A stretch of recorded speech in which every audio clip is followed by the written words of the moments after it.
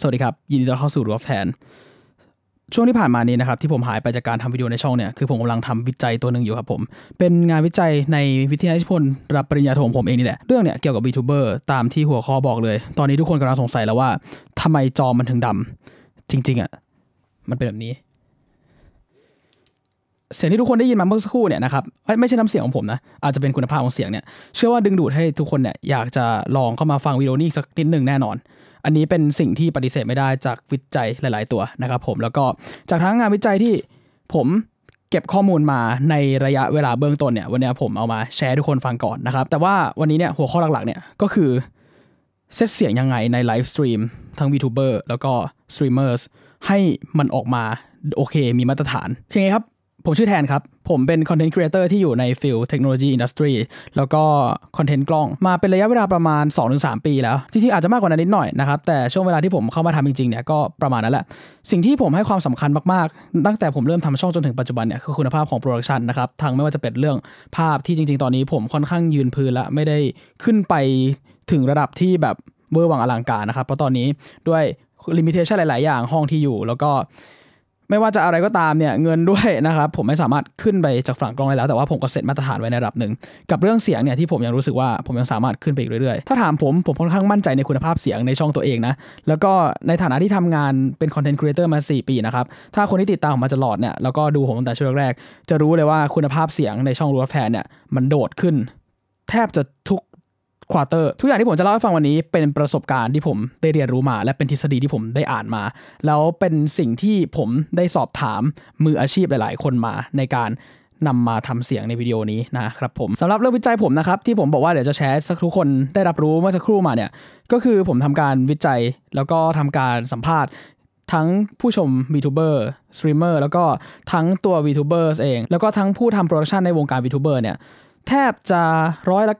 95 นะครับพูดเป็นเสียงเดียวกันว่าสิ่งที่สำคัญที่สุดที่ทำให้เขาดูหรือเลือกที่จะไม่ดูcontent นั้นๆของ VTuber เนี่ยก็คือเสียงคุณภาพของเสียงครับ ไม่ใช่น้ำเสียง แน่นอนว่าน้ำเสียงมีส่วนทำให้คนดูดูต่อไหม แต่ว่าสิ่งที่ทำให้คนดูสามารถเริ่มตัดสินใจเข้ามาดูได้ไหมสำคัญที่สุดคือเรื่องเสียง แล้วผมรู้สึกว่าช่องไม่ว่าจะเป็นทั้ง streamer VTuber และ content creator เองก็ตามเนี่ยกว่า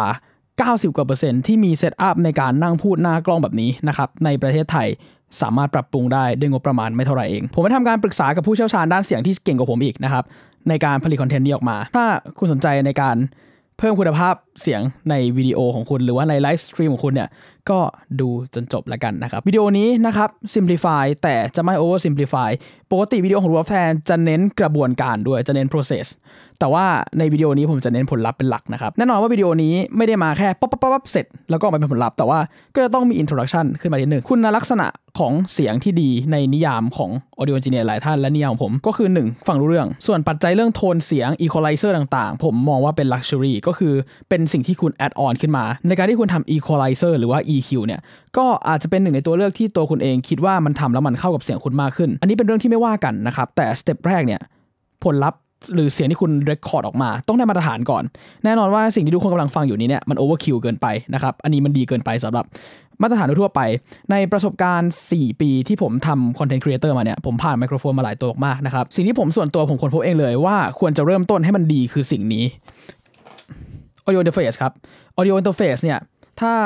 อธิบายเข้าใจง่ายๆก็คืออุปกรณ์ที่สามารถรับไมค์เข้ามาได้ แล้วก็ส่งสัญญาณไมค์ที่เป็นแอนาล็อกก็คือสัญญาณเสียงเนี่ยเข้าไปเป็นไฟล์ดิจิตอลในคอมพิวเตอร์ได้นะครับผม อย่างตัวนี้เนี่ยเป็นตัวที่ผมปลดประจำการปลดระวางแล้ว เป็น Audio Interface ตัวแรกในชีวิตของผมนะครับ ตัวนี้เป็น Presonus Studio 24 Audio Interface เนี่ยจะมีสเปคหลาย ๆ อย่างนะครับผม ส่วนในสเปคของ Audio Interface เนี่ยก็จะเกี่ยวข้องกับ Input และ Output นะ คุณภาพของเสียงที่อัดได้ด้วย Interface ตัวนี้ก็จะไม่ได้เขียนบอกอยู่ในสเปคแน่นอนนะครับ เหมือนกับอุปกรณ์แทบจะทุกอย่างสเปคก็คือสเปคนะครับ ผลลัพธ์จากการใช้งานจริงก็คือต้องดูรีวิวเอา แต่ผมจะบอกอะไรให้นะครับ ในประสบการณ์ของผมเองเนี่ย Audio Interface ในราคาแบบเริ่มต้นเนี่ยสองสามพันจนถึงราคาเจ็ดแปดพันเนี่ยมันแตกต่างในระดับที่คนธรรมดาทั่วไปที่ฟังกับลำโพงโทรศัพท์แยกไม่ออก อันนี้เป็นสิ่งที่ผมแนะนำไปแล้วอาจจะโดน audio engineer ด่าก็ได้ก็คือ audio interface ถ้าคุณมีงบน้อย แล้วคุณมั่นใจว่าคุณจะไม่เสียใจในภายหลัง ก็ซื้อไปได้เลยครับ โอเค ผมอธิบายไปแล้วว่า audio interface นะครับ มี input และ output input ก็คือ ด้านที่ไมโครโฟนเสียบเข้า ก็คือไอ้สรูนี้ อย่างที่ทุกคนเห็นอันนี้คือ XLR นะครับ XLR input หรือถ้าไม่ใช้ audio interface นะครับ ทางเลือกปัจจุบันก็มีก็คือ USB ไมโครโฟนแบบนี้นี่เองนะครับ ตัวนี้ไม่มีขายในนอกประเทศญี่ปุ่นเนาะ ตอนนี้ผมอยู่ในประเทศญี่ปุ่น อันนี้เป็น plug and play ง่ายๆ ข้อดีคือ plug and play เลย ข้อเสียคือในหลาย ๆ โมเดลเราไม่สามารถควบคุมเกณฑ์เข้าไปได้ ไม่ใช่ความดังนะครับ เกณฑ์ จริง ๆ เกณฑ์มันมีผลต่อความดัง เอางี้ดีกว่า ถ้าอธิบายคำว่าเกณฑ์ ในวิดีโอนี้มันน่าจะนานมากๆ เอาเป็นว่าปกติเนี่ยเราปรับโวลูมใน Windows ใช่ไหมครับ อันนั้นอะคือการขยาย volume หรือเสียงแบบดิจิตอลซึ่งมันรับเสียงจากไมโครโฟนตัวเนี้ยเข้ามาเลยเป๊ะเท่านี้แล้วก็ขยายเอาในโปรแกรม อะไรที่ขยายด้วยดิจิตอลแบบที่เป็นดิจิตอลแค่ลากขึ้นไป คุณภาพมันสู้การปรับค่าในวงจร หรือว่าแอนะล็อกในตัวไมโครโฟนเอง หรือว่าในตัว audio interface เองไม่ได้อยู่แล้วครับ คือการขยายเสียงด้วยดิจิตอลเนี่ยคุณภาพไม่ได้เปลี่ยนเลย แค่ทำให้มันดังขึ้น ถ้าสมมติคุณมี audio interface คุณ set gain หรือว่า volume บนตัว audio interface ให้มันถูกขึ้นมาเนี่ยมัน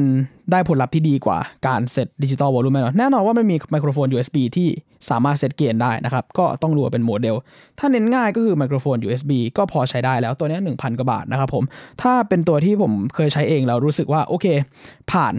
ก็ Audio Technica AT 200 USB นะครับวิดีโอนี้ไม่มีสปอนเซอร์นะ อันนี้คือคำแนะนำจากการใช้งานจริงมาแล้วล้วนๆนะครับหรือว่าถ้าให้ผมแนะนำในงบที่ค่อนข้างสูงไปเลย ก็คือ Earthworks Icon ธรรมดาข้างหลังที่ผมอยู่บนโต๊ะตัวนี้แหละครับ อยู่ในวีโอผมก่อนหน้านี้หลาย ๆ ตัวเนี่ยคือ Earthworks Icon Pro ก็คือเป็นตัวไอคอนที่เป็นเวอร์ชัน XLR นั่นแหละ ก็คือต้องใช้ร่วมกับเจ้านี่นะครับ Audio Interface ถึงจะสามารถใช้งานได้ หรือใช้ร่วมกับไฟ Phantom 48 โวลต์ ซึ่งเป็นไฟเลี้ยงสำหรับไมโครโฟนประเภทคอนเดนเซอร์แต่ใดๆแล้วตอนนี้เราอยู่ใน topic ของ Audio Interface กับไมโครโฟน USB ผมว่าไมโครโฟน USB ทุกคนเข้าใจง่ายอยู่แล้ว เสียบสาย USB แล้วก็เสียบอีกด้านหนึ่งเข้าคอมใช้งานได้ง่าย ๆ แต่ควบคุมได้น้อย ถ้างบน้อยไม่อยากเรียนรู้เยอะอันนี้พอ แล้วก็ซื้อไมค์ USB แล้วกรุณาอ่านคู่มือด้วย หลาย ๆ แบรนด์หลาย ๆ โมเดลมีอ่าน recommend setup หรือว่าระยะห่างที่เหมาะสมกรุณาอ่านนะครับ อันนี้เรายังไม่ได้ cover เรื่อง type ของไมโครโฟนเลยนะ ประสบการณ์ส่วนตัวผม ถ้าเลือกเลยจะใช้ไมค์ USB หรือจะใช้ไมค์ XLR ถ้าใช้ไมค์ USB จบเลือกมค์ USB ถ้าใช้ไมค์ XLR เรามาคุยกันเรื่อง audio interface กันต่อ แต่อย่างที่ผมบอกไปเมื่อสักครู่แล้วนะครับ ในช่วงราคาต้นต้นพันจนถึงปลายปลายพันเนี่ยมันต่างจริง ถ้าอยู่ใน train ear และอยู่ในอุปกรณ์ที่สามารถเช็คงานได้อย่างลำโพง studio monitor ที่ผม ใช้งานอยู่ด้านหลัง หรือว่าหูฟังที่เป็น studio monitor จริงๆไม่ต้องหูฟังที่เป็น studio monitor ได้หูฟังที่คุณภาพดี หรือลำโพงที่คุณภาพดี ฟังออกและ train ear ด้วย train ear ฟังออก แต่ว่าคนทั่วไปลำโพงโทรศัพท์มือถือ แทบจะฟังไม่ออกหรอกผมบอกเลยว่าแทบจะฟังไม่ออกนะครับ คือคุณภาพของสัญญาณที่มันสามารถรับและแปลงเข้าไปได้เนี่ยมันขึ้นอยู่กับวงจรในตัว audio interface นะครับผมหรือว่าที่อยู่ในไอ้รูนี้แหละตัวนี้ที่พังแล้วก็คือเพราะว่าไอ้วงจรข้างในเนี่ยมันพังนะครับ มันไม่สามารถจ่ายไฟ phantom หรือว่าไฟเลี้ยงให้กับไมโครโฟนคอนเดนเซอร์ได้อย่างนิ่งสม่ำเสมอ แล้วก็นอกจากมี Input ที่ผมบอกนะครับ Audio Interface มี Output ด้วย อย่างตัวนี้เนี่ยก็คือมี Output เป็นทั้ง MIDI MIDI ที่ใช้กับตัวเครื่องดนตรีพวกคีย์บอร์ดอะไรพวกนี้เหรอ ผมไม่เคยใช้งานเหมือนกันนะครับ แล้วก็มี Input สำหรับพวกเครื่องดนตรีพวกนั้นด้วยนะครับ แล้วก็มี Output Output ก็คือออกออกจากเครื่องเนี่ยไปเข้าอะไร เข้าลำโพงครับ สัญญาณไหลออกไปเข้าลำโพง ก็คือตัวเนี้ยทั้ง in จากไมโครโฟนเข้าคอมพิวเตอร์ และจากคอมพิวเตอร์เข้าเครื่องนี้ออกลำโพงอีกทีหนึ่ง อันนี้เรียก output นะครับมี output ออกลำโพง 2 รู มี output ออกหูฟัง 1 รูนะครับอันนี้คือ Basic Functionality ของ Audio Interface flow การทำงานครับรับเสียงจากไมโครโฟนเข้า Audio Interface เข้าคอมพิวเตอร์ ไฟล์เสียงจากคอมพิวเตอร์เข้า Audio Interface ออกด้านหลังเข้าลำโพง อันนี้คือการทำงานคร่าวๆของ audio interface แบบพื้นฐานเลย จบไปกับ functionality นะครับ ที่เนี้ย spec in out อะไรต่างๆ เนี่ย ต้องดูดีนะครับ audio interface บางตัวเนี่ย บอกว่า input 2 แต่ว่า microphone input มีแค่อันเดียว อีกอันหนึงเป็น input กีตาร์ อย่างตัวที่ผมใช้อยู่ audience id 4 mark 2เนี่ย เป็นอย่างนั้น ก็คือมี input microphone 1อัน หรือว่าเรียกว่า 1 ปรีใหม่นะครับ1ปรีใหม่ปรีเนี่ยก็มาจากปรีแอมนี่แหละปรีแอมไมค์นะครับ ไมโครโฟนพวกนี้เนี่ย สัญญาณคงที่ใช่ไหมล่ะ การที่มีแอมมาขยายสัญญาณ ก็ทำให้เราสามารถภาษาบ้านๆก็คือเรียกว่าปรับความดังเบาของเสียงได้ ถ้า technical ขึ้นมาหน่อยก็คือปรับความดังเบาของสัญญาณได้ และไอตัวที่ชื่อ preamp นี่แหละ pre mic amp นี่แหละ ที่ทำให้คุณภาพเสียงของไมค์มันดีขึ้นหรือแย่ลง โอเค ถ้าให้แนะนำ audio interface ในระดับที่บอกว่าไม่เวอร์เกินไปใช้งานได้เลย ก็ Audient iD4 Mark 2 ที่ผมใช้งานอยู่ ถ้าไม่ได้คิดว่าจะใช้ไมโครโฟนมากกว่า 1 Input ถ้างบถึงอันนี้ผมเชียร์ครับ ซื้อ iD4 Mark 2 ไปเลยจบๆทีเดียว ถ้างบแน่น ๆ จริง ซื้ออะไรมาก็ได้ครับ ไม่เอาของแบรนด์โนเนมที่รีวิวไม่มีหรือว่ารีวิวไม่ดี Focusrite 2 i 2โอเครับได้ SSL โอเค แนะนำครับเลือกจากราคาดูรีวิว ถ้ารีวิวออกมาโอเค มีข้อตินิดหน่อยที่ว่าแบบมันนู่นนี่นั่นโน่นเล็ก ๆ อะไรแบบเนี้ยก็ซื้อได้เลยครับ แนะนำซื้อได้เลย แล้วก็ ผมรู้สึกว่าถ้าเลือกจาก connectivity ถ้าเป็น USB Type C แล้วอะไรเนี่ยยังจะดีสักกว่าอีก แล้วก็ขนาดนะครับ บนโต๊ะเรามี space ในการวางเท่าไหร่ อะไรประมาณนี้นะ ผมว่า make sense นะครับในการเลือกซื้อ โอเคครับ ซื้อ audio interface มาแล้วนะครับ สิ่งต่อมาที่เราต้องมีคือไมโครโฟน อันนี้ยหลายๆ คนอาจจะมีอยู่แล้วนะครับ ถ้าคุณมีไมโครโฟนที่เป็น XLR อยู่แล้วก่อนหน้านี้แต่คุณมือบอลไปซื้อ Phantom 48 โวลต์จีนมาต่อ แล้วเสียงมันจีๆซ่าๆ แบบผมตอนแรกเนี่ย บอกได้เลยครับว่าคุณลองเอาไมโครโฟนตัวที่คุณมีอยู่ ไม่ว่าจะเป็นโอเกอร์ถูกๆ ราคาตัวละ 800 600 อะไรก็ตามเนี่ยต่อกับ audio interface ใหม่ของคุณก่อนครับ ผมบอกได้เลยว่าโลกเปลี่ยนทั้งใบเลย ประสบการณ์ส่วนตัวครับ ใช้ o c e M887 มานานมากๆนะครับ แล้วก็ต่อ Phantom 48โวลต์จีนเนี่ย แล้วผมก็ไปซื้อตัวนี้มาครับ ครั้งแรกที่ผมต่อเลยคือ นี่มันไมโครโฟนคนละตัว ต่างกันลิบลับแบบลิบลับเลยจริง ๆ 3,000 ก็คุ้มครับ ถ้าสมมติคุณลองต่อไมโครโฟนกับ audio f a c e โอเค ตัวเดิมที่มีอยู่เสียงโอเค โอเคสำหรับคุณแล้ว ฟังได้ชัดโอเครอ step ต่อไปเลยก็คือ step การตั้งค่า แต่ถ้ายังไมโครโฟน มันยังไม่ดีไมโครโฟนมันแย่เกินไป หรือไม่มีไมโครโฟนนะครับนี่คือคอร์สการเลือกไมโครโฟน ง่ายๆ จากประสบการณ์ส่วนตัวของผมนะครับผมว่าหลายๆคนที่ดูวิดีโอนี้น่าจะดูมาบ้างแล้วรู้มาบ้างแล้ว คนที่ทำงานสตรีมมิ่งหรือละหรือว่า live stream หรือ VTuber น่าจะรู้อยู่แล้วไมโครโฟนมี dynamic กับคอนเดนเซอร์ไมโครโฟนหลักการการทำงานไม่พูดถึงคอนเดนเซอร์ไมโครโฟนต้องการสิ่งที่เรียกว่าไฟเลี้ยงหรือว่า Phantom 48 โวลต์ที่ผม mention ไปประมาณ3-4รอบแล้วในวิดีโอนี้ซึ่งถ้าดูใน audio interface ตรงนี้เนี่ยมันจะมีเขียนอยู่ ไฟ Phantom 48 ที่ผมกดตรงนี้นะครับ อันนี้ มันคือไฟเลี้ยงที่จ่ายเข้าคอนเดนเซอร์ไมโครโฟน ถ้าไม่มีมันไม่ทำงาน เสียงไม่เข้าครับ ถ้าคุณใช้ dynamic ไมโครโฟนขึ้นมาไฟ 48 โวลต์ไม่ต้องเปิด ขอร้อง ไม่ต้องเปิดนะครับ แต่ผมค่อนข้างมั่นใจเลยว่าส่วนใหญ่ที่ดูเนี่ย ถ้าจะทำงาน live stream หรือว่าทำงานอะไรแบบนี้ต้องเลือกใช้ไมโครโฟนคอนเดนเซอร์อยู่แล้ว เพราะว่ามันเป็นการใช้งานที่ stationary ตั้งอยู่กับที่ไม่ต้องทำอะไรมากมาย แต่จริงๆ ผมรู้สึกว่าคนที่น่าจะใช้ Dynamic Microphone อย่างชัว SM7B เนี่ยก็น่าจะมีนะ หรือชัว MV7 เองก็น่าจะมี ถ้าคุณอยากได้ look ของเสียงแบบรายการวิทยุขึ้นมา ก็โอเคเป็นเรื่องที่เข้าใจได้ครับ ว่าจะใช้ SM7B หรือ MV7 ใช้ Dynamic Microphone ที่เสียงติด dark หน่อย แต่ว่าขอร้องว่าอย่าใช้เพราะเท่นะครับ คือมันสำหรับส่วนตัวผมสำหรับส่วนตัวหูผมผมรู้สึกว่ามันเป็นมันไม่รู้อะผมไม่ชอบนะครับ คือมันมีคนที่ไม่ชอบเสียงของ SM7B บนโลกใบนี้ครับ ถ้าสมมติคุณเป็นคนนั้นที่ไม่ชอบ คุณไม่ได้เป็นคนเดียว แต่ matter ของ Dynamic Microphone เนี่ย ก็ตามนั้นนะครับ สิ่งที่ต้องระวังกับพวก SM7B หรือ MV7 คือกำลังขับของ preamp ใน audio interface นะครับ ดูสเปคดีๆ ว่าสามารถขับได้กี่โอห์ม แล้วก็ดูสเปคดีๆ ว่า SM7B กับ MV7 require กี่โอห์ม อันนี้เป็นการบ้านของพวกคุณ เพราะผมไม่เคยใช้เหมือนกัน โอเค พูดถึง condenser microphone ของเราบ้างล่ะนะครับ ตอนนี้ ผมผ่าน condenser microphone มาเยอะพอสมควรที่ซื้อมาใช้งานเองจริง ๆ เลย ถ้าคุณซื้อในราคา 3,000 กว่าบาทถึง 5,000 บาท คุณก็จะได้อะไรประมาณนี้นะครับ นี่คือ t a n o i TM1 เดี๋ยวผมแกะให้ดูครับ นี่คือ t a n o i TM1 ครับ ไมโครโฟนแบบนี้เนี่ย มีชื่อเรียกเต็มๆว่า large diaphragm condenser microphone large diaphragm ก็คือ diaphragm คือหน้าที่มันรับเสียงเนี่ยใหญ่นะครับ ทีนี้เนี่ยไมโครโฟนแต่ละตัวจะมีแพทเทิร์นในการรับเสียงขึ้นมา มี proximity effect หรือว่า effect ความใกล้เนี่ยที่ไม่เหมือนกันนะครับอย่างตัวนี้เนี่ยถ้าสมมติผมอยู่เข้าไปใกล้ๆแบบนี้นะครับ เสียงมันก็จะ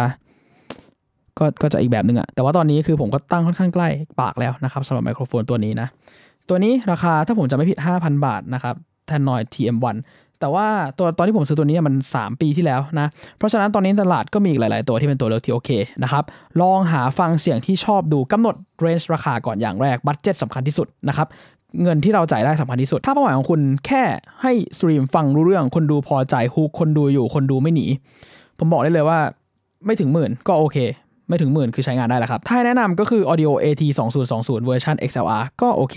หรือว่าจะเป็นเจ้าตัว t a n o i TM1 นี่ผมรู้สึกว่าก็ยังโอเครวด NT1 NT1A ก็ยังโอเค ราคาจะหนักขึ้นไปนิดหนึ่งนะครับ เอาเป็นว่าดูรีวิวว่าชอบเสียงตัวไหน เซตไปเลย แปลงถ้าให้ดีดูรีวิวต่างชาติเลยครับ แปลงเงินไทยมีเท่าไหร่ แปลงเป็นเงิน USD แล้วก็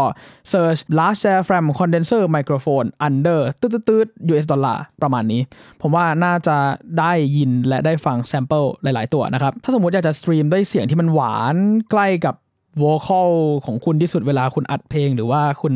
ร้องเพลงเนี่ย นี่เป็นตัวเลือกที่ดีมากๆ แล้วก็นอกจากคุณจะซื้อมาใช้งานในการ stream แล้วเนี่ยไมโครโฟนพวกนี้ถ้าสมมติคุณจะต้องอัด vocal ขึ้นมาเนี่ยหรือว่าอัดเสียงร้องขึ้นมา ตัวนี้ก็สามารถใช้งานได้นะครับ แน่นอนว่าราคาที่ไม่ได้แพงคุณภาพหรือว่าน้ำเสียงเนี่ยมันก็จะไม่ได้หวานหรูอะไรแบบนั้น noise ในตัวก็อาจจะเยอะพอสมควรนิดนึงนะครับ ข้อจำกัดของไมโครโฟนประเภทนี้ในงานที่พวกผมใช้หรือว่างาน content creator ที่เห็นหน้าเนี่ย คือไมโครโฟนตัวนี้เนี่ยหรือว่า large diaphragm condenser microphone เนี่ยมัน require ที่ ต้องให้คนที่ใช้พูดเนี่ยเข้ามาอยู่ในระยะที่ค่อนข้างใกล้และเหมาะสม ไม่งั้นเนี่ยมันจะจับทุกอย่างเลยที่มันกว้างมาถ้าสมมติอยู่ระยะนี้เนี่ยบอกได้เลยว่าคุณภาพเสียงที่ได้แย่มากๆ ถ้าอยากดูนะครับลองไปย้อนดูคลิปของผมเองเนี่ยเมื่อประมาณ2-3ปีที่แล้วได้ที่ใช้ไมโครโฟนตัวนี้แล้ววางไกลปาก เสียงมันไม่โอเค แล้วก็เมื่อคุณวางใกล้ปากเนี่ยมันจะเกิดอีกสิ่งหนึ่งครับ เรียกว่า plosive เดี๋ยวผมจะ sample ให้มันเกิดขึ้นกับตัวนี้ให้ดู plosive ประมาณนี้ ซึ่งจริงๆ ผมเชื่อว่ามันน่าจะเกิดขึ้นมาก่อนในหลายครั้งแล้วแหละนะครับ เพราะฉะนั้นเนี่ยถ้าใช้ large diaphragm condenser microphone หรือแม้กระทั่ง condenser microphone หรือไมโครโฟนอะไรเองก็ตามเนี่ยในการ stream ถ้าคุณต้องวางปากใกล้ๆกับไมโครโฟนนะครับการุณาใส่สิ่งนี้ครับ สิ่งนี้เรียกว่า pop filter อันนี้มากับเซตจับไมโครโฟนตัว TM1 เลย แต่ว่าถ้าไม่มีและมีขาตั้งแบบนี้ กรุณาใส่ pop pop pop filter แบบนี้นะครับ มันจะกันลมในปากคุณได้ โอเค ถ้าคุณเป็น VTuber ใช่ไหมแล้วว่าคุณสตรีมด้วยโปรแกรม VTube Studio ใช่ไหมผมเข้าใจว่ามันจะใช้การจับหน้าเรา อันนี้ผมว่าก็ต้องหาทางเอาเองนะครับ ในการที่ใช้ทั้ง pop filter แล้วก็ทำให้หน้าคุณเนี่ยยังถูกสามารถ detect ด้วยโปรแกรม VTube Studio ได้อยู่ ซึ่งถ้าผมแนะนำก็คือวางไมค์จากด้านล่างขึ้นมาแบบนี้ แล้วก็ใช้เป็น pop filter นะครับ ในการแบบเฉียงขึ้นใช้อันนี้ดีกว่า ประมาณนี้อะไรแบบนี้นะครับเฉียงขึ้นแบบนี้ ผมว่าเท่านี้น่าจะไม่บังหน้านะครับผมเดี๋ยววันนี้ผมขออนุญาตแกะออกก่อนเพราะว่ามันจะน่ารำคาญคนดูธรรมดามากๆเลยนะครับ คือ VTuber เนี่ยไม่มีข้อจำกัดเรื่องการวางไมโครโฟนใกล้ แล้วก็ไม่มีข้อจำกัดเรื่องเอา pop filter เข้ามาใช้ด้วย ตรงนี้เนี่ยผมว่าเป็นจุดเด่นที่จะสามารถทำให้คุณภาพเสียงในคลิปของ VTuber หรือว่า live stream ของ VTuber โดยรวมเนี่ยในโดยรวมในวงการเนี่ย ดีกว่า content creator ทั่วไป เพราะว่าไม่จำเป็นจะต้องกังวลเรื่องนี้ ไม่จำเป็นจะต้องกังวลโดนคนดูบ่นเรื่องนี้ใช่ไหมครับ เพราะว่าผมอะโดนบ่นมาทั้ง 4 ปีเลย และสุดท้ายผมก็พ่ายแพ้คนดูครับ ผมก็ต้องเลิกใช้อะไรแบบนั้น ผมว่าต้องใช้ไมโครโฟนที่มีตัวกันลมประมาณหนึ่งแบบนี้พอดีนะครับ โอเคครับ เราพูดถึง condenser microphone กันก็จริง แต่ว่าผมก็เชื่อว่าหลายๆ คนที่ทำ VTuber เนี่ยน่าจะมีไมโครโฟน dynamic ธรรมดาที่เอาไว้ร้องคาราโอเกะหรือว่าถือร้องเพลงเล่นๆกันอยู่แล้ว พวกนี้ใช้ได้ครับ แต่ไม่ใช้จะดีกว่า อย่างไมโครโฟนตัวนี้เป็น Audio Technica AE 6100ซึ่งราคาก็ไม่ได้ถูกแล้วก็ไม่ได้แพง ตัวนี้เนี่ยโฆษณาเลยว่าเป็น close miking ไมโครโฟนก็คือคุณต้องปากชน แบบนี้เลย ถึงจะสามารถใช้งานมันได้อย่างที่ต้องการนะครับ อันนี้ก็เป็นไมโครโฟนที่ผมพกเอาไว้เวลาไปคาราโอเกะกับเพื่อนเล่นๆนะครับ อันนี้คือซื้อมาด้วยความสงสัยส่วนตัวล้วนๆเลยว่ามันจะเป็นอะไรยังไง ผมบอกได้เลยว่าผมลองใช้ในคลิปวิดีโอของผมเองแล้วเนี่ย คลิปหนึ่ง อย่าหาทำคือมันใช้งานได้แหละ แต่ว่าในงบประมาณเนี่ยคุณเอาเงินไปซื้อพวกนี้ดีกว่าอันนั้นไม่ใช่อันนี้ไม่ใช่อันนี้ คุณเอาเงินไปซื้อหายไปไหนแล้ววะนี่คุณเอาเงินไปซื้อพวกนี้ดีกว่านะครับ คือพวกนี้มัน live stage microphone ครับ มันไม่ใช่ live stream microphone แต่ถ้าไม่มีจริง ๆจำเป็นต้องใช้ มันก็ใช้ได้ครับ แค่ set up ให้ถูกตามสเปคของมันแล้วกัน แน่นอนว่าทุกตัวที่เป็นไมค์ถือเนี่ย ไม่ใช่ close mic miking ไมโครโฟนหมดนะครับ ก็ อ่านคู่มือเอา อย่างช่วยเซม58 ก็ไม่ใช่ใช่ไหม มันก็ใช้งานได้แหละ แต่กรุณาเซตการตั้งค่าแล้วก็ระยะห่างในการใช้งานให้มันเหมาะสมด้วยครับ ต่อมาเลยเรื่องระยะห่างในการใช้งานไมโครโฟนนะครับ โอเคครับ ผมนั่งห่างจากไมโครโฟนผม โอเค หันมาทางนี้จะได้เห็น ผมนั่งห่างจากไมโครโฟนผมเนี่ย ตอนเนี้ยประมาณ 2 คืบเหรอ ประมาณ 2 คืบนะครับ เสียงที่ทุกคนได้ยินเนี่ย มันก็น่าจะดังดีอยู่ เพราะว่ามันเป็นไมโครโฟนที่ดีมากๆ แต่ก็ปฏิเสธไม่ได้ว่าตอนแรกมันดีกว่า ดีกว่าเยอะมากๆเลยแหละถ้าสมมติคุณฟังในเซตอัพดีๆ แต่ถ้าสมมติเป็นไอ้พวกนี้แหละผมบอกได้เลยครับว่า ไม่อะคือไหนๆคุณมีแบบตัวเลือกในการสามารถวางไมค์ใกล้ๆได้แล้วเนี่ยนะครับการุณาวางไมค์ใกล้ๆนะครับยิ่งไมโครโฟนห่างกับซอสในระยะทางที่เหมาะสมเท่าไหร่เนี่ยเสียงยิ่งดีขึ้นเท่านั้นครับในบางทีเนี่ย การที่คุณมีไมโครโฟน อยู่แล้วตัวหนึ่งแล้วเสียงมันแย่เนี่ยอาจจะไม่ใช่เพราะไมโครโฟนมันแย่ก็ได้นะ อาจจะเป็นเพราะว่าคุณนั่งห่างไมโครโฟนเกินไปครับ มันจะมีไมโครโฟนบางประเภทที่ใช้ในงานอัดแบบเนี้ยนะครับ แล้วเสียงมันยังดีอยู่ โดยที่สามารถวางห่างไกลๆได้ อย่างไมโครโฟนช็อตกัน หรือว่าอย่างจริง ๆ ตัวนี้ก็ก็โอเคนะครับ ตัวนี้ใช้ได้ระดับหนึ่ง เมื่อกี้ก็อาจจะไม่ได้ต่างกันขนาดแบบ คอขาดบาดตาย แต่ก็คือไม่ได้ดีเท่าที่มันดีได้ หรือจริงๆเนี่ยผมจะแนะนำตัวนี้ในงานวีในงาน YouTubing นะครับ เรียก YouTubing นะ ตลอดก็คือแคปซูลไมโครโฟน แต่ว่าผมรู้สึกว่าอันนี้ไม่ไม่น่าเหมาะกับงานสตรีมหน้าจอคอมสักเท่าไหร่นะครับด้วยความที่แพทเทิร์นรับเสียงมันแคบเนาะออกซ้ายออกขวาทีนึงก็คือเรียบร้อยเลย คือมันก็มันก็แคบตัวนี้ก็แคบนะครับ แต่ว่าอย่างน้อยตัวนี้ยังใช้งานได้ในงานลักษณะนี้อยู่ก็ก็คือยังโอเค ระยะห่างดูให้ดีครับ ใกล้ไปก็จะเกิด proximity effect ไกลไปคุณภาพก็จะ ไม่ได้ แล้วก็ดูแพทเทิร์นการรับเสียงเลยนะ สมมติมันอาจจะรับได้กว้างประมาณนี้ที่ดีที่สุด ถ้าสมมติผมพูดแบบนี้นะครับ เป็นไงอะเสียงอะผมพูดแบบนี้เป็นไงอะนะครับ ยิ่งไอ้พวกไมโครโฟน พวก large diaphragm condenser เนี่ย ดูให้ดีนะว่ารับเสียงด้านนี้ หรือด้านนี้นะครับ ส่วนมากก็จะเป็นด้านที่มีโลโก้เนาะแต่อ่านคู่มือก่อนให้ดีให้ชัวร์นะครับ โอเคไมโครโฟนผมแนะนำไปแล้วนะครับ Audio Technica IT 2020ที่ใช้แล้วเป็นมาตรฐานโอเค ก็คือถ้ามีงบหน่อยเนี่ยผมก็แนะนำ Earthworks นะครับ ไม่ใช่สปอนเซอร์เหมือนกัน Rode NT1 NT1A Tannoy TM1 ที่ผมเคยใช้ก็โอเค ถ้าอยากจะเลือกโมเดลอื่นเองก็เปิดเว็บดูดูเลยราคาตัวไหนเท่าไหร่นะครับ แล้วก็เอาไป search หารีวิวว่าเสียง มันโอเคกับเราหรือเปล่า แต่จริงๆผมว่าซื้อตัวไหนก็ได้ แต่ส่วนตัวให้ผมแนะนำตัวที่แบบใช้จริง ๆ นานๆ ยาวๆ เลยก็ Earthworks Icon Pro ด้านหลังถึงแม้ว่าราคา distributor ไทยจะทำร้ายกันไปมากนะครับ ถ้าสามารถสั่งซื้อจากต่างประเทศได้เอาเลยแนะนำดีมาก ๆ นะครับ อันนี้อาจจะ overkill ไปนิดนึงนะครับ ก็ประมาณนี้สำหรับ choice ของไมโครโฟนที่เลือกเอามาใช้ในงาน stream นะครับ หรือว่าใครมี preference ส่วนตัวแล้วก็โอเค ใครที่มีไมโครโฟนที่รู้สึกว่า เอ้ยมันก็ดีแล้วนะ แต่ว่าทำไมใช้แล้วเสียงแย่จัง ลองเช็ค ระยะห่างดูนะครับ หรือว่าอย่างต่อไปเมื่อคุณได้อุปกรณ์ครบแล้ว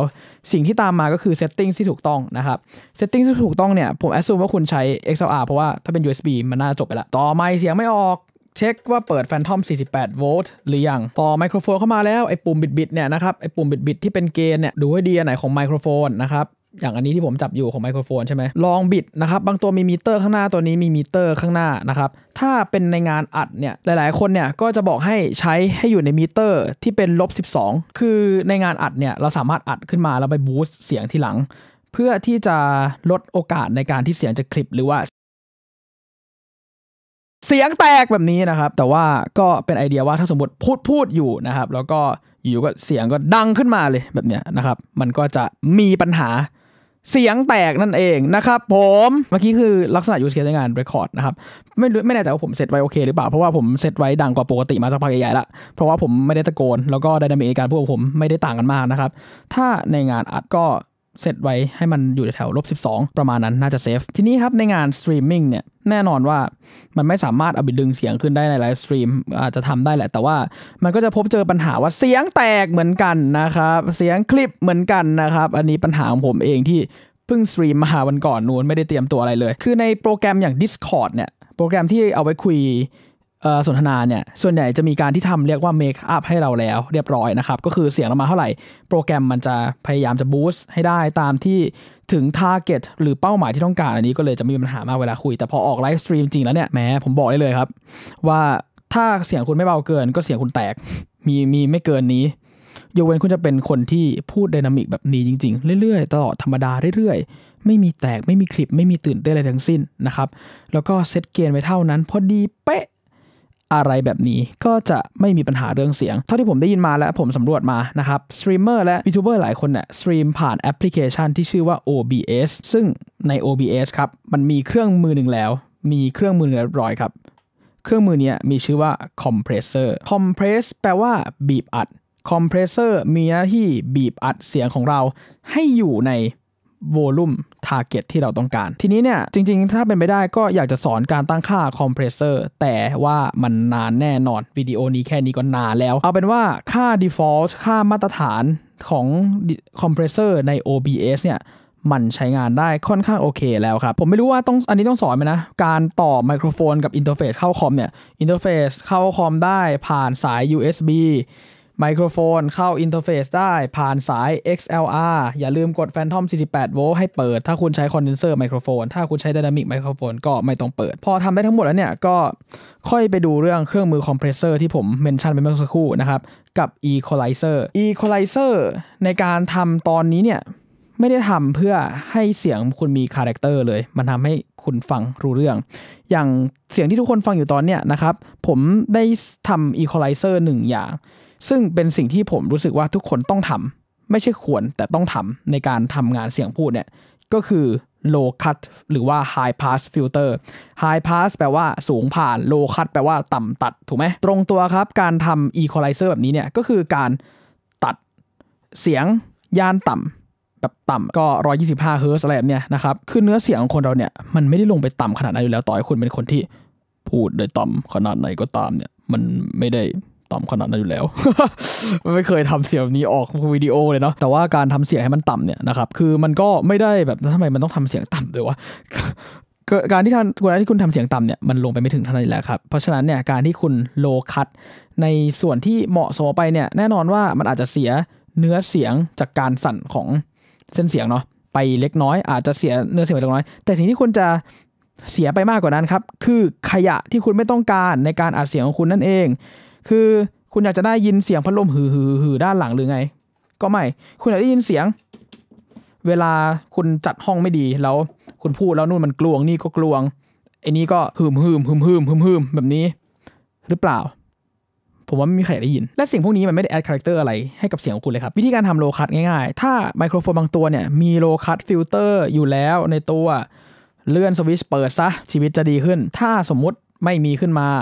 ในคอมพิวเตอร์คุณหาซอฟต์แวร์ Equalizer เข้ามาซะส่วนใหญ่ latency คงไม่ได้เยอะมากๆนะ แล้วก็ทำ low cut filter ครับ จะทำที่กี่เฮิร์ตอันนี้อยู่ที่ไมโครโฟนกับห้องของคุณเลย ลองเล่นดู แต่ผมบอกเลยว่า ต้องทำคือทำไปเถอะ สบายใจทำแล้วสบายใจ ปัญหาของหลาย ๆ คนอีกอย่างหนึ่งเนี่ยนอกจากว่ามีอุปกรณ์ในการอัดไม่ดี คือมีอุปกรณ์ในการฟังไม่ดี ก็เลยไม่รู้ว่าอะไรคือปัญหา แน่นอนว่าคนส่วนใหญ่เสพสื่อผ่านสมาร์ทโฟน แต่หลาย ๆ คนก็สืบเสพสื่อผ่านคอมพิวเตอร์ที่มี setup ดี ๆ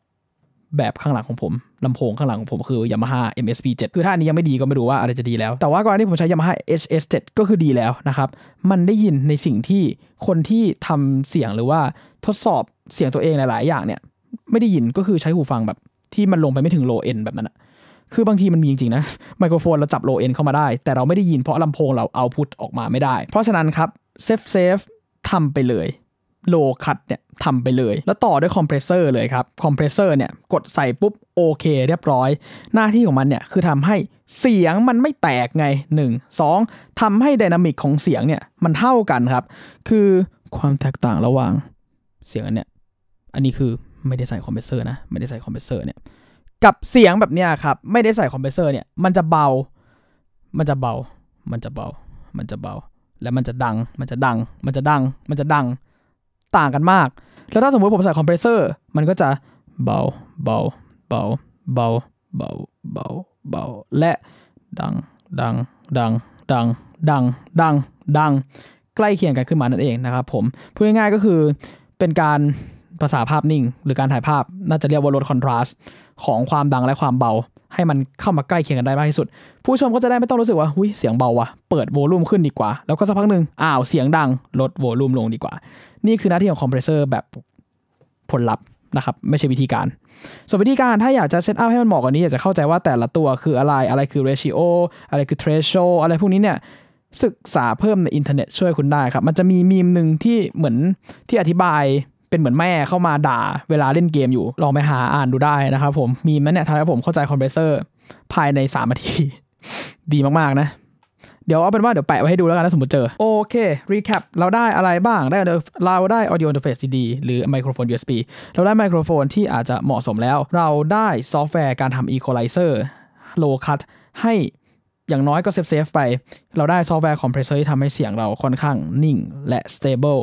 ในเรื่องของ volume ใกล้กันทาง live stream แล้วก็เสียงมีโอกาสแตกน้อยลง คือพอมันเกิน threshold มันก็จะพยายามบีบให้อยู่ใน target ที่มันต้องการ เสียงมันก็จะฟังดูอู้หน่อย แต่ว่าก็ยังดีกว่าเสียงแตกถ้าคุณทำทุกอย่างที่ผมพูดไปแล้วนะครับ ผมเชื่อว่าเสียงในการทำ livestream ของคุณเนี่ยหนังอย่างน้อยเนี่ยมันดีขึ้นกว่าตอนแรกที่ ดีขึ้นหรือว่าฟังรู้เรื่องขึ้นกว่าตอนแรกที่คุณทำอยู่แน่นอน แต่ถ้าฟังทั้งหมดมาหน้าแล้วรู้สึกว่าโอ้ยรู้อยู่แล้วนี่หว่าผมก็รู้สึกว่าเสียงคุณก็น่าดีอยู่แล้วนะ แค่คุณไม่พอใจแค่นั้นเองก็ได้เวลาซื้ออุปกรณ์ใหม่แล้วครับ ถ้าถามผมล้อคำแนะนำของผมผมบอกไปแล้วในเรื่องอุปกรณ์นะครับงบประมาณที่ใช้ผมให้ไมโครโฟนสัก 5 6 0 0 0บาทแล้วกัน แล้วก็ผมให้ audio interface สัก5ถึง8,000 บาทนะครับลงทุนหน่อย แต่ครั้งเดียวจบแน่นอน มันไม่ได้ดีขนาดนี้หรอกเพราะไอ้นี่ตัวเดียวเนี่ยไอ้นี่ตัวเดียวเนี่ยในไทยก็ 30,000 แล้ว แต่ว่ามัน ดีแบบฟังรู้เรื่องฟังผู้ชมไม่บ่นแน่นอนผมการันตีผม confirm เลย แล้วพอคุณมีทุกอย่างที่ใช้ร่วมกันแล้ว livestream คนดูฟังรู้เรื่องเนี่ย จะมาใส่ลูกเล่น EQ จะมาใส่โปรแกรมดัดเสียง จะมาใส่โปรแกรมเปลี่ยน pitch เนี่ย เอาเลยครับ คุณมีต้นทางที่ดีแล้ว ผมว่าคนส่วนใหญ่เนี่ยพลาดเรื่องการทำโลคั t ฟิลเตอร์กับ พลาดเรื่องการไม่ใช้คอมเพรสเซอร์นี่แหละนะ แต่พูดตรงๆ 2 ตัวนี้ก็คือ what makes difference นะครับ หลักๆ เนี่ย ถ้าจะพลาดขนาดที่ว่ามันฟังไม่ได้จริงๆ ก็คือ set up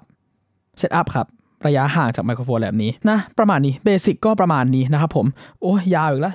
ไม่ได้กะจะให้ยาวเลย ยาวเฉย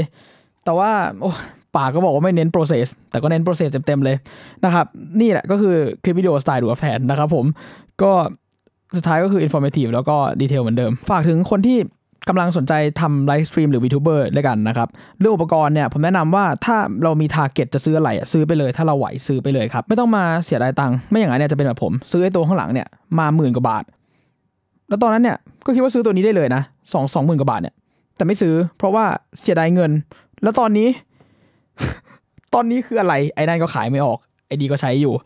ไอ้นั่นก็เลยเอาไปเป็นไมค์ตั้งคุย Discord หน้าคอมทั้งที่โคตร overkill เลย อ๋อ ลืมไปอย่างหนึ่งก่อนจากกันไปนะครับ สายไมโครโฟนกรุณาใช้แบบ balanced balanced balanced ก็คือ XLR และใช้ XLR ที่ shield คุณภาพดี พูดแบบง่ายๆ ซื้อแบรนด์ที่มีมาตรฐาน Audio Technica Canare หรือว่า Mogami อะไรพวกนี้ลงทุนหน่อยครั้งเดียวขอให้จบนะครับ คุณจะลากไปเป็นกี่เมตรก็ได้ balanced กัน noise พวกนี้ shielding ดีก็กัน noise พวกนี้ครับผม โอเค ประมาณนี้แหละนะครับ memory เต็มละ วันนี้ผมแพนจะรู้ว่าแพ้ครับผม ลาไปก่อนพบกันใหม่คราวหน้า สวัสดีครับ